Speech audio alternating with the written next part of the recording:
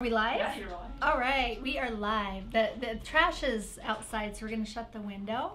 But happy August! Is it August already? It this is is crazy. August. Happy August. I know. Summer It's goes by too quick. It does, and I want to give a little disclaimer before we, as we start this live.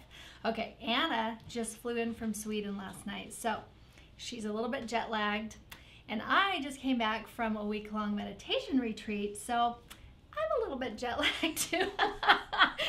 so It's we're gonna make for fun live. it is going to. We thought, you know, we're going to make it real today and just talk from our hearts and just, you know, we really love creativity and crafting. So it's a good place to be a little bit spacey, right? Let it all out. That's right.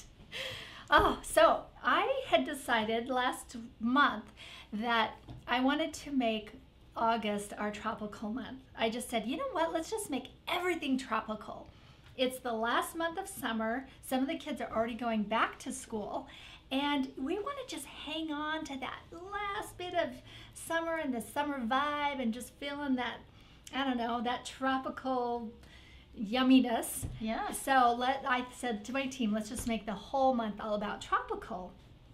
And it was interesting because when we did that, I went back in and looked at all the tropical projects that we've made for home decor or parties, and we have so much stuff. So not only do we have this huge plethora of crafts, we're adding uh, we're adding more, at least 30 if not more projects to this. So, what should we talk about? What's on your list, Anne? We have to have a little guideline today because we're a little spacey. Well, I think um, on the tropical theme, we talked about you know different parties, and it's such a fun Yes. end of summer um, Yes. party theme. So whether it's a luau or a tropical party, we have Mhm. a lot of decorations. Anything We do. from DIY palm trees Mm-hmm. to these adorable lit lanterns. These are brand new, so these are coming out. I think they're tomorrow's. Yeah, Yes. this will be tomorrow's post. So you know you can cut these. You can add bigger lights underneath. These are tiny ones, but you can add bigger lights underneath so that you can see the light coming through. But I think our paper lanterns are one of our favorite things, and our readers they love our lanterns. Yeah. Yes, and this Mhm. is such a fun thing to uh, not only use for party decor, but also to bring into your home decor. Mhm. Yeah, if you want to just light up your mantle in the evening, yeah. it's really fun. Yeah, so other parties, we had quite a few beautiful. We had a um, an, a party like a, a wedding. I just forgot the word now. So we're live, so we're just gonna go for it. a bridesmaid party or a bridal Bridal shower. shower. Thank you. so we had a bridal shower last summer that was so beautiful. Mm-hmm. And it was actually for one of our teammates who got married, so it was also very real to us. And we did a lot around that. And again, we're going to be adding one thing I know we're going to add this year or this yeah, this round. We have a whole mermaid party coming and it is so cute. So Krista cute, is yeah. working on that right now. We're going to have every single detail that you'll need for a mermaid party for any anyone, your little girl, little boy, whoever loves mermaids, even adults, you know, Yeah, even love me. mermaid, even you. Yeah, and then we have these fun little additions we're adding. These are our flamingo straws and palm, palm train straws. And all of this will come together. Right now they're a bit um, here and there, but at the end of the month it will all come together as well.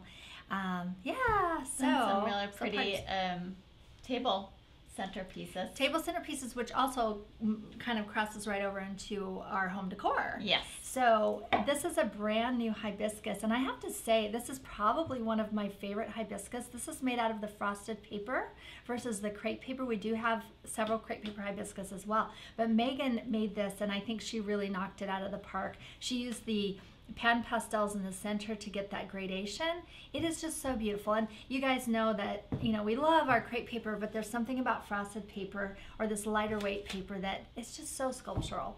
So this will be coming up this next I know. month as It, well. uh, it's so fun to see how we continue to improve. I know it. Oh, It, it seems like it. yeah. Like we've made a hibiscus, but now this one's even Better. more. yeah, more elevated. Uh-huh, it is.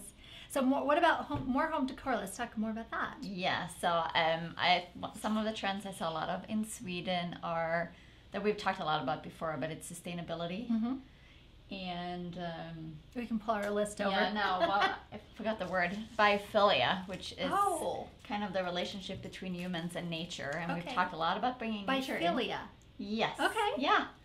So we've talked a lot about bringing nature in in terms of Mhm. plants, but it's also we're seeing a lot of wood and Mhm, stone in home mhm. decor. Mm-hmm. Um, and in terms of sustainability, I think one of the big things people are really talking about now is, for instance, the cost or the what's happening to our earth when we're flying in um, tulips, for instance, from the Netherlands. I mean, they're mm-hmm. beautiful, but the amount of poison that's going out into the earth from flying them here. Right. Yeah, yes. that makes sense. So, yeah. and that really brings us back to I love fresh flowers, even though you know paper flowers are always in my life, but to get a bouquet of fresh flowers is, is wonderful, especially when it's from someone's garden. Yes. And just two days ago, a friend came over and she had clipped some blooms from her garden, and it, it, it almost had more richness to it because it grew right here, and there was a there was a personal, I don't know, just a there was a, a this infusion of her person into it because she brought it from her garden. Yes, and I think mm-hmm. it's also so fun to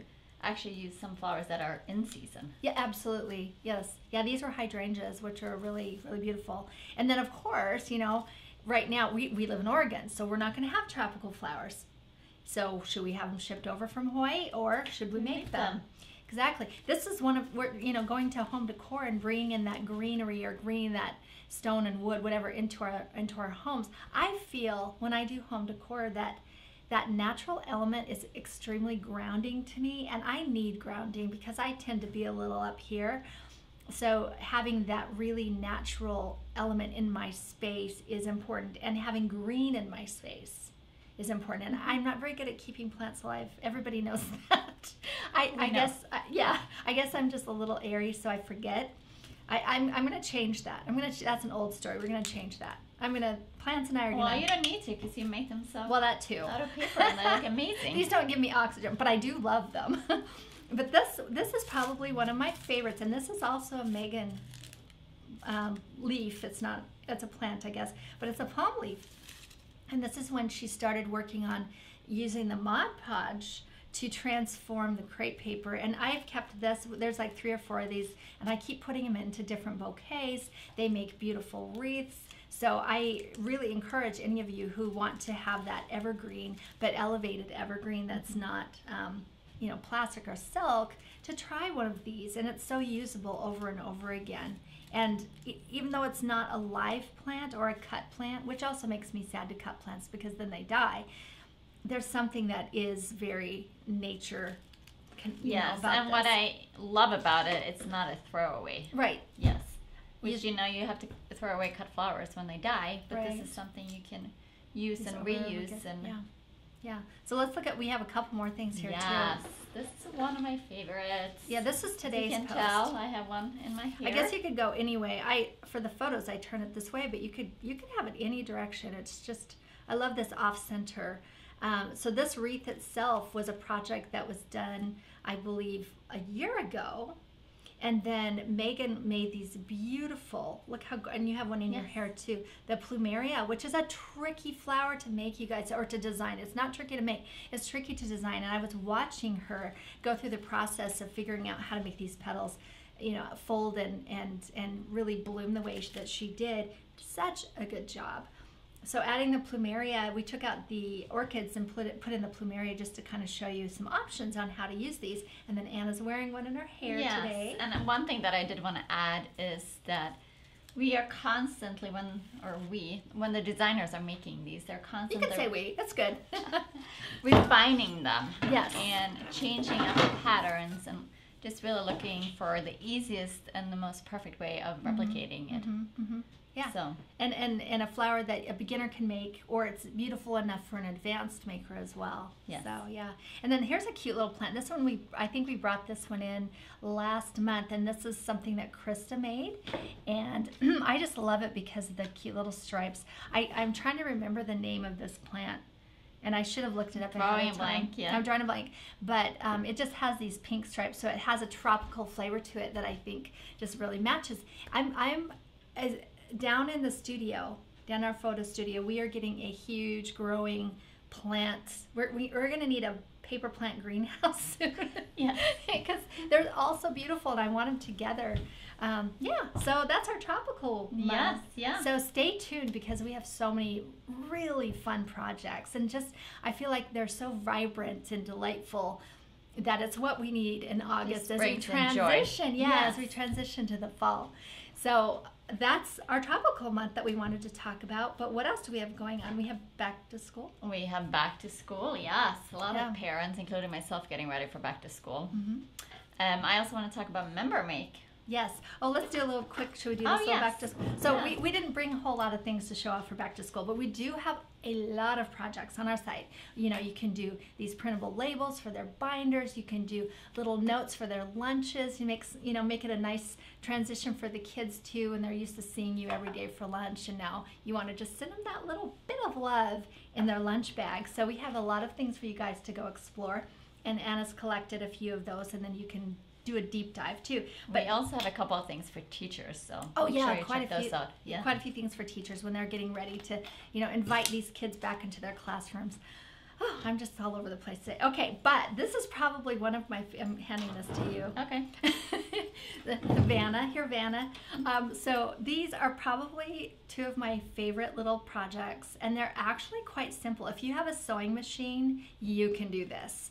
If you want to hand stitch them, you can hand stitch them. So this one is a, it's a pencil case, and they're made out of the thick wool felts, and then just all the little bits and pieces. The zipper is you know, it's pretty easy to sew in because it's a top stitch zipper, so there's not a whole lot. You just have to make sure you can tack it with glue or something to um, keep it in place before you stitch it. Um, yeah, so these are just adorable. And these were designed by Krista. Yep. She's our queen of cute, so she really gave us a good dose of cute here. Yes, member make. Should we Yes. move on to that? Yeah. All right, so we're keeping, um, we're, we're continuing to do crepe paper flowers for member make until we have more time to do more than one member make, right? Because it's just such a hot topic. So I wanted to do a really beautiful Phalaenopsis orchid plant, um, not only to explore uh, doing more of the Mod Podge on crepe paper method, but also to show you guys in live form how we take our crepe paper flowers and make them into actual plants. You know, how we plant them, what sort of method we do to keep them in the container. So we're making that right now, and this is going to be. Uh, Megan and I are working on it together. It's going to be the best orchid plant we have made yet. Can't and wait. yes, I love keeping live orchids in my house, so I'm looking for this to replace that. It's going to Since be a you can't keep anything alive. well, I can keep orchids alive because they they just need Low maintenance. yeah. Um, but it's going to be pretty big, about this big. So we're, we're excited for you guys to join us. Uh, well, you'll get an email for that, but Anna's going to tell. I think it's the 16th. Is Yes, that right? August okay. 16th. August 16th is So the date that we've set mark aside your for calendars, that. yeah. Yeah. All right. Whew. Anything else? No. Okay. Uh, well, we did want to talk really quickly. A lot of people uh, reached out Oh. about the tropical camp. Yes. So that is going live next week. Where you'll get an email uh, letting you know how to go in and purchase the kit, and then as soon as you get your kit, the videos will be live and ready. The, I, I am so in love with this project. I've been watching the editing being done. You know, we had the two girls sitting here with me doing this these crafts, and it was so delightful just seeing them Oh, they had so much fun. yeah, and I want to share that with you know all the the kids in your life who would love to connect with this type of crafting as well. I'm I'm really excited about it. So watch for your email on that. We'll announce where you can go and purchase it, and we'll just see what happens and Yeah. see how many people you know jive with this sort of program because we'd like to do more of these craft camps. I think it's something that's needed out there. Yeah. So on it, on that Mm-hmm. note, we have a it's limited number of participants, Yes. but we do offer a discount for members. Yes, we offer a discount for our members um, so that you can Join us. Yes, Yeah. exactly. All right, you guys. We'll Thanks for on the hanging in there with us. We're good. We're Anna and I will be landing maybe on Monday. We'll be back to Earth. We won't be running on three hours of sleep. right, exactly. So love you guys. Uh, we'll see you in well. We'll see you the rest of August, and I can't wait to see all your great projects. All right. We'll talk to you next month. Bye bye. Bye.